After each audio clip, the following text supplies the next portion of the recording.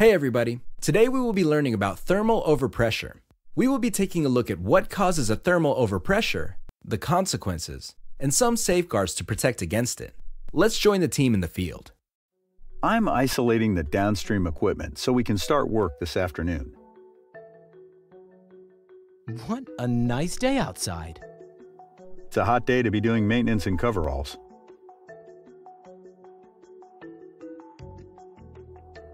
Look over there. There's a puddle of oil underneath that pipe rack. Let's go see if we can determine what's going on. This pipe flange is leaking oil. How did that happen? I blocked in this line earlier today, closing these two valves and draining between them so that we could do work on the downstream equipment. This looks like a thermal overpressure case. This section did not have any flow. I don't see the source of pressure.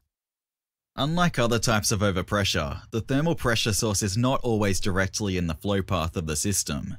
Thermal overpressure happens when the temperature of a blocked-in section increases and expands the contained product. With nowhere for the pressure to be relieved, the material is overpressured, resulting in a loss of containment. The most common source of thermal overpressure is the sun, which heated the outside piping today. It does not take a significant temperature increase to raise the pressure in a pipe, especially when we block in a high vapor pressure product like oil that is easily vaporized. What was holding pressure on the other side of the pipe? On one end was the closed valve and the other was a check valve. When the flange split, the downstream side of the check valve was open to atmospheric pressure and liquid started draining from the system. I thought we had to assume check valves didn't hold back pressure. Well, they can and do. We assume they have a tight seal when we want them to leak, and that they're stuck open when we want them to hold. As you've seen, both can occur and lead to dangerous situations. What else can cause thermal overpressure? Heat tracing, blocked-in exchangers, and heaters can also overpressure stagnant products. Alarms and shutdowns will not work to turn off the source in this case. What are the safeguards for this type of hazard?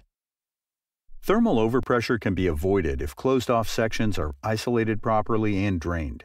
In this scenario, we should have isolated upstream of the check valve and drained both sides of the check valve so that product was not stored between the check valve and downstream manual valve.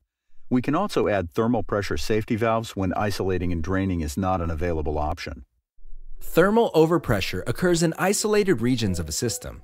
When energy is added to the constant volume in the form of heat, high pressures develop, splitting or rupturing equipment and piping. It is best practice to ensure there are no blocked-in sections containing products that can expand or vaporize when heated. This can be accomplished by draining between isolation points or in dead legs. Thermal pressure safety valves can also be installed to mitigate overpressure where isolation and drainage is not practical.